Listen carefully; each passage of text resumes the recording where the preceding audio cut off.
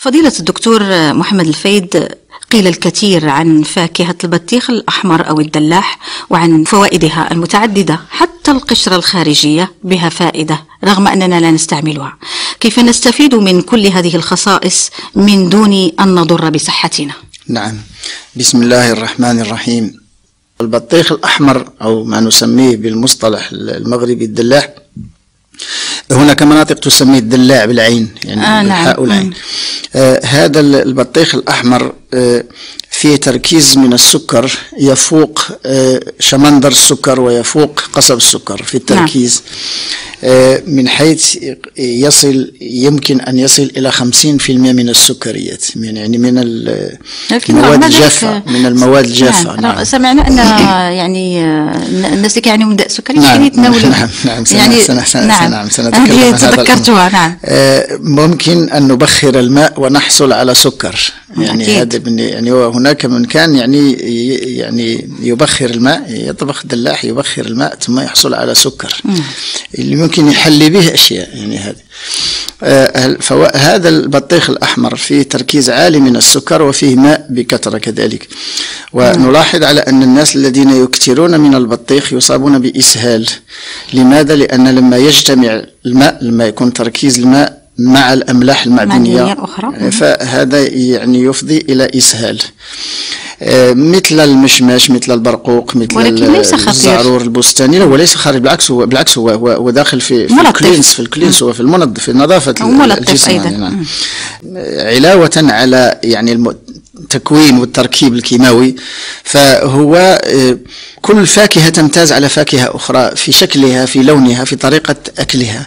أن البطيخ كنقطعوه وأن بدون سكين يعني يصعب أكل البطيخ بدون سكين نعم. نعم هذه من الأشياء التي يمتاز بها ثم حتى مثلا التين الشوكي الهندية ممكن الناس يأكلوها ب- بدون سكين ممكن يقشروها بصبعانهم ولكن صعب. ولكن البطيخ صعيب للشخص يأكل بطيخ بدون سكين أكيد. هذه هذه الشكل الذي يتناول نعم. نتناول به الأشياء آه، فهو يدخل في جمالية آه، الخلق هذه الأشياء. وتناوله. طبعاً، أكيد. ثم اللون الأحمر هو لون يثير مغري. هو آه، لون حار.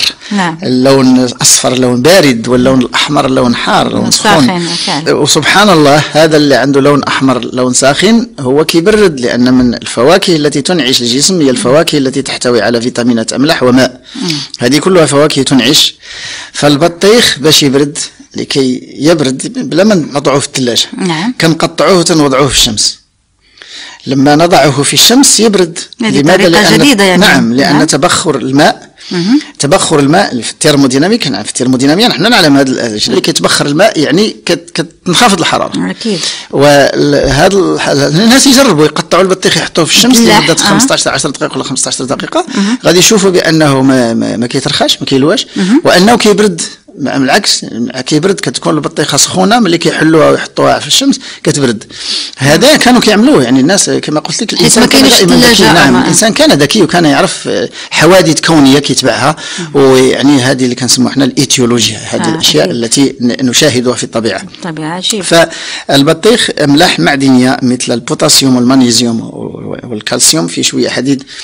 والبطيخ يمتاز بمادة الليكوبين هي اللي كتعطيه اللون الأحمر. هي اللون موجودة في الأحمر. البطيخ الأحمر وفي الطماطم وكذلك شيء في الخوخ شيء قليل في الخوخ الخوخ، نعم. آه هذه مادة الليكوبين تتركز في البطيخ الأحمر ونلاحظ أن المناطق التي كان فيها بطيخ أحمر بكثرة لم يكن فيها عقم ولم يكن فيها يعني تضخم بروستاتا. لم يكن فيها سرطان البروستاتا مثلا منطقة دكاله شوية قصبة تادلة كاين منطقة الحوز كاين منطقة خميسات وكاين منطقة اللوكوس وكاين منطقة البركان كذلك هذه اللي فيها فيها البطيخ. خصوصا المنطقة اللي كان معروف فيها البطيخ البلدي البوري اللي ما كيتسقاش خميسات كان دكاله هي هي أول منطقة اللي كان فيها الدلاح اللي ما كيتسقاش.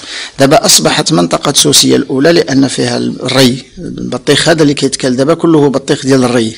نعم، وأن الخضر ديال الري الفواكه ديال الري تختلف عن فواكه البورية اللي ما كتسقاش. هذا يعني حتى الزيتون الزيتون اللي كيتسقى ماشي هو الزيتون البوري. عجيب. آه، آه، أكيد لأن ملي بري ما كنسميو هذا اللي ما كيتسقاش هو كي كيتزرع في الوقت ديالو. ما كيخرجش على الموسم ديالو.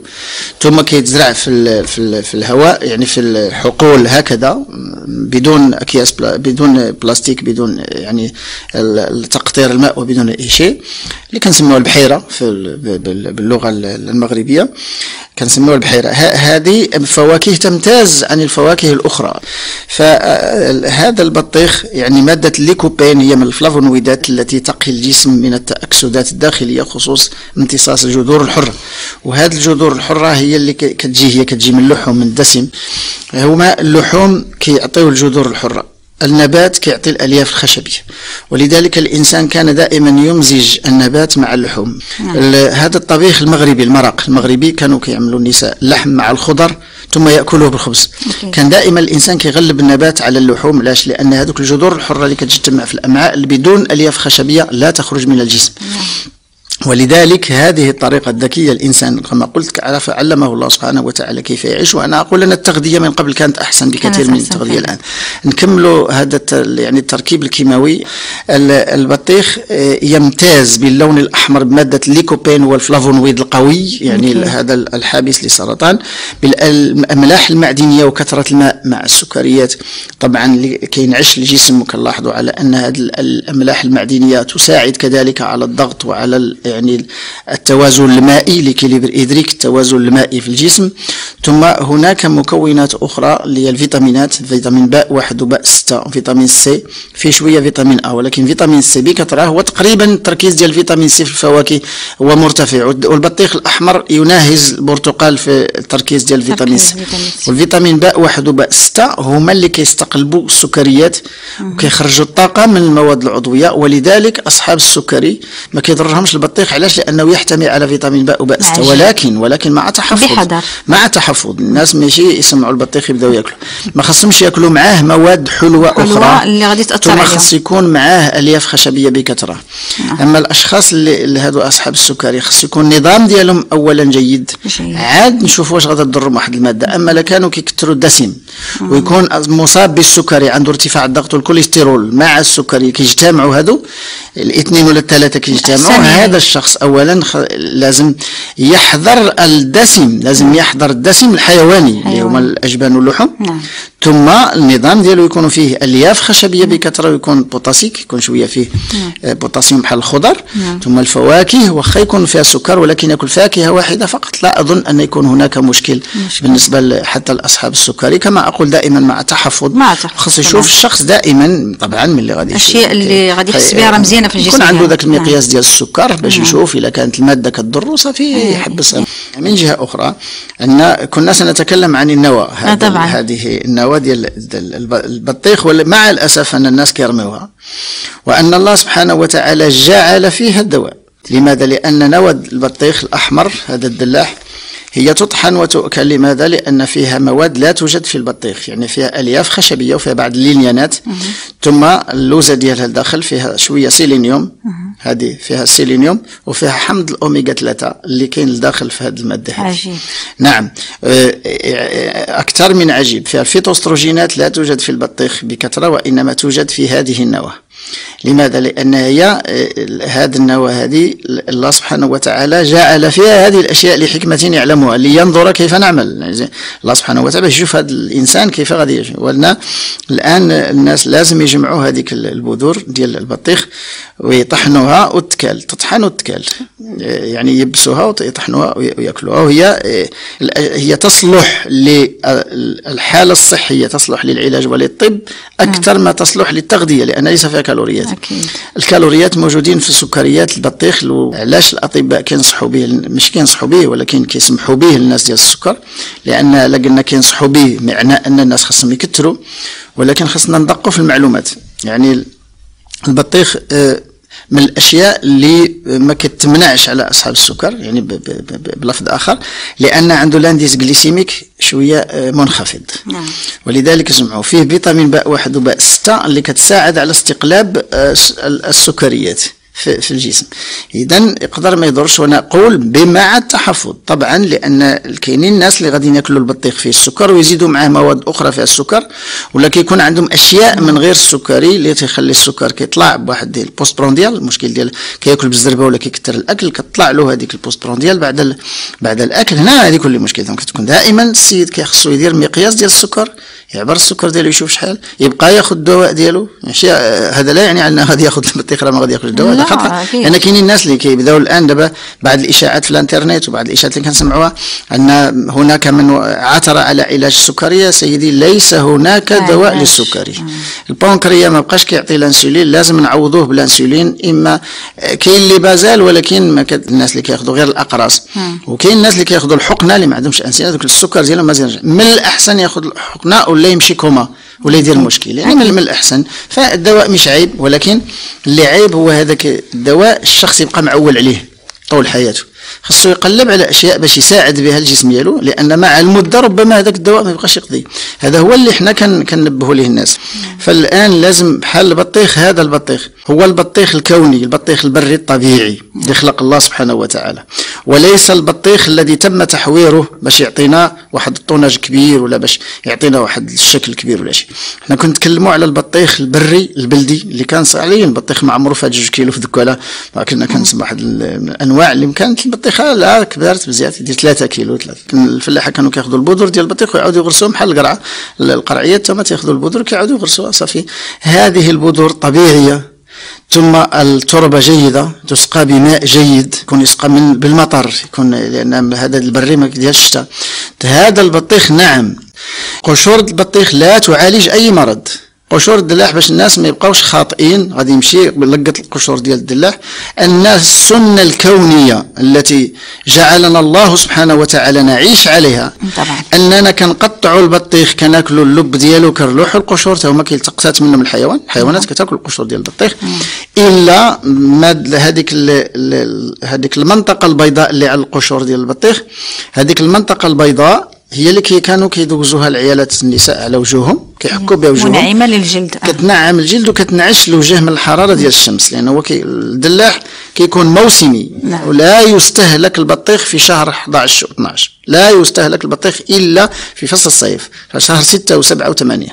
يعني عاد هذه علاش لأن هذه هي الأشهر اللي فيها ال lycopène نعم. فيها البطيخ الأحمر والطماطم الله سبحانه وتعالى خرجهم في هذا الوقت وال lycopène هو flavonoïde كيبرد الجسم ينعش الجسم و flavonoïde حافظ من الجذور الحرة لأن الناس كياكلوا اللحوم في فصل الصيف كثيرة نعم. أن الله ضابط كل شيء ووضع ميزان يعني يجب أن لا نخل بهذا بهذا الميزان فيكفي أن نتبع الناموس الكوني فقط فقط يعني. ولكن يعني أنا أنصح الإخوة والأخوات جزاهم الله خيرا باش يسحبوا كلمة علاج لو كان الناس يتناولون المواد الموسمية الطبيعية لا يمكن أن يكون هناك أمراض من المستحيل. وعدا عليه حقا سبحانه وتعالى. لأنه خلق الإنسان وخلق له في الكون ما يجعله يعيش سعيدا. فإذا كان الإنسان يخل بهذا الكون فهو يتحمل مسؤوليته ويذيق الله سبحانه وتعالى يذيقه شيئا من هذا الفساد. أكيد. كما يقول تعالى في في محكم كتابه ظهر الفساد في البر والبحر بما كسبت أيدي الناس ليذيقهم بعض الذي عملوا لعلهم يرجعون. غير باش شوية يردعنا باش يرجعنا شوية يزرنا باش نرجعوا لهذه الحقيقة. وأن هذا آه، الكون فيه أشياء خطوط حمراء. إذا تعداها الإنسان فالله سبحانه وتعالى سيوكل لنفسه. ما خص يتعدى خطوط حمراء في الناموس الكوني اللي وضعه الله سبحانه وتعالى. أننا الآن بغينا الله سبحانه وتعالى مثلا أعطى النوع ديال القمح مثلا كيعطي عشرة القنطارات في الهكتار. إلى هذاك القمح بغيناه يعطي 80 قنطار في الهكتار. فإحنا كنطلبوا أكثر نعم غادي ناخذ 80 قنطار. ولكن ما غاديش يكون القمح ديال عشرة القناطر لأن التركيز ديال المركبات الكيماوية غادا تزاد فيه ومركبات لاحظوا الآن الآن حاليا أن القمح أصبح يسبب حساسية ولم يكن يسبب حساسية من قبل. هذا مثال بسيط ولذلك هناك خطوط حمراء في الكون يجب أن لا نتعدى هذه الخطوط الحمراء. أعطيك مثل حليب مثلا.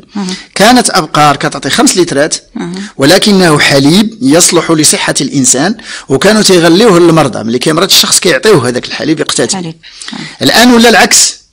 ولات أبقار كتعطينا حتى 30 لتر في أوروبا الآن الأبقار كتعطي حتى 35 لتر. ولكن ليس الحليب ديال 35 لتر هو الحليب ديال البقر البلدي اللي كان عندنا كيسرح. ما كنعطيو لا أعلاف الأول وكان كيسرح لوحده. كيختار هو النباتات يعني ب...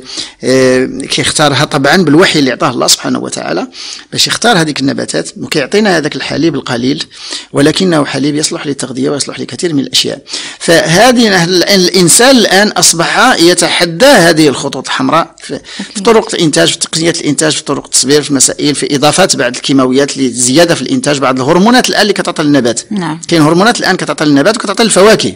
الأوان. لأن هنا بحال بحال بغينا نصحوا خلق الله. بحال ماشي تحسين الإنتاج. نعم تحسين الإنتاج كيكون نعم تحسين الإنتاج كيكون بالسمد وكيكون بالري وكيكون نعتنيو بالحقل. نعم ولكن لا يعني أننا نغيروا الناموس الكوني. هذا هذا خطأ في, في, في, في, في الإنتاج. فالبطيخ الآن هو البطيخ جيد. نعم. في مادة ليكوبين في أملاح معدنية في فيتامينات ال vitamine C وباء واحد باء ستة في مغنيسيوم وفي بوتاسيوم وفي يعني كالسيوم وفوسفور في النواه ديالو فيها الأوميغا 3 والسيلينيوم نعم. في lignanes وفي الياف خشبية. في النواه ديالو التي تصلح نعم هو ينعش وكيبرد الجسم كينعش الجسم وإلا كلاوه الناس في الصيف لأنه كيجتمعوا الطماطم ما كيخليوش ديك الجذور الحرة ديال اللحوم اللي كتطلع الكوليسترول وكدير سرطانات ودير أي شيء أمراض القلب والشرايين ال athérosclérose وما إلى ذلك. فهذا ناموس كوني مضبوط ضبط الله سبحانه وتعالى ولكن بالشرط يكون الدلاح طبيعي بري ويكون البذور ديالو غير مغيرة وما يكونش عنده مبيدات ما يكونش عنده أي شيء. كيف آه، يمكن أن نعلم أن مثلا هذا البطيخ الأحمر أو الدلاح أنه جيد وأنه طبيعي وغير مضاف إليه شيء؟ المبيدات في المغرب مع الأسف الشديد ما كاينش contrôle. المبيدات ما كاينش يعني لا. كاين المبيدات المسموح بها وبالتراكيز المسموح بها وكاين المرشدين فلاحيين كيقولوا الفلاحة شحال كديروا. نعم. نعم. ولكن رغم ذلك فكنشوفوا بعض المرات غير ديك الفلاح قلة الفهم ديالو مثلا كيكون واحد جارو كيرش بواحد المبيد كتجي الرياح كتهز هذاك المبيد كتحطو على الشخص الآخر اللي عنده النعناع واحد كيرش الزيتون حداه النعناع. ولا واحد مثلا كيرش الخوخ ولا المشماش وحداه مثلا أي شيء كيعرفوا الفلاحه بأن حتى التبن نعم. الآن تبن ديال القمح والشعير اللي مرشوشين اللي معالجين بالمبيدات هذاك التبن كيبقاو فيه المبيدات اللي رشوا بها وكيمر عند البقر. وكيمر لينا حنا. نعم كيمر للحوم والبقر والحليب. فهذه دورة كونية الآن خصها خص التراجع يعني أنا اوصي بالتراجع عن هذه الممارسات الكيماوية وهذا الفساد في الكون. واحد القضية. نعم. هو خص الناس يعرفوا بأن البطيخ كينبت فوق الأرض. نعم. البطيخة كتكون محطوطة فوق التراب. أكيد. يعني الا ما كانش هذاك التراب طاهر نعم. الا ما كانش نقي نعم. وكان في أثر براز ولا مقدور ولا حاجة هكا ونبتت هذيك البطيخة وجابوها للدار يوقع تسمم. نعم. من التسممات اللي كتجي كاين كثيرة هي التسممات المرتبطة بالإنسان وهما اللي كنسميهم الجراثيم البيئيه أو ال micro-organismes ubiquitaires نعم. اللي كاينين في الطبيعة اللي منهم حمى التيفويد كتكون حمى التيفويد كاين Escherichia coli هذه واحد العصيات ال E. coli. نعم. وكيكون فيها Shigella dysenteriae واحد dysenteria مرض الديزونتيريا معروف هو إسهال بارد ديال هذا هو المشكل اللي كيتعلق دائما مرتبط بالدلاح. نعم يقدر يكون إسهال بارد عادي إلا كثر الإنسان الدلاح ولكن يقدر يكون إسهال تسممي. الا كان مرتبط مثلا بالحرارة. الا كانت الدلاحه لاصق عليها هذاك التراب وهذاك التراب ما نقيش. كتجي للدار ما كيغسلوهاش مزيان. ملي كيقطعوا كيدخل هذاك الجورتوم كيدخل يصيب البطيخ. وأكثر من ذلك اللي كيقطع البطيخه تاكل نصها تيخليها. يعني هنا ربما هذيك الجراثيم تنمو الا كانت لوتت البطيخة تنمو في هذاك السكر ديال ديال ديال البطيخ لأنه هو وسط طبعا فيه السكر هو وسط ممكن تنبت فيه جراثيم ولكن كاين دكتور بعض الناس كيخافوا من الدلاح بشكل رهيب نعم لماذا؟ لأن هاد الأشخاص هادو كيكون عندهم خلل في الجهاز الهضمي نعم. هاد الأشخاص هادو كيعملوا إسهال لأي شيء كاينين أشخاص اللي عندهم حساسية لواحد المادة. الله سبحانه وتعالى خلق الجسم ديالو هكذا. كي قليل يعني قليل. كاين اللي عنده حساسية داخلية كياكل أي حاجة كيعمل إسهال ولا كضره كيحس بها. هنا يحبسها. ولذا إحنا كنا خصصت أنا كنت خصصت واحد الحلقة لفطرة التغذية. الشخص اللي ما عجباتوش واحد الماكلة ما ياكلهاش كنا واللي ضراتو درجناها حتى في, آه في, نعم في نعم آه واللي ضراتو واحد الماكلة يحبسها صافي سهلة. أن علاش؟ لأن هو اللي خصو يعرف الأشياء اللي خلقوا عليها الله. خصو يكون حافظ الجسم ديالو. نعم. فكتكون عنده défaillance. إما كتكونش عنده واحد l'enzyme إما واحد ال oxydase ولا واحد الكاتالوز ولا شيء إما كيكون عنده واحد الخلل في الجهاز إما كيكون يمتص بسرعة ولا بكثرة ولا كيكون كسول. فهنا خص يعرف الأشياء التي لا تمتص عنده واللي كتسبب لي إزعاجات نعم. على مستوى الجهاز الهضمي. يكون في أمان. ما نظنش يكون مشكل.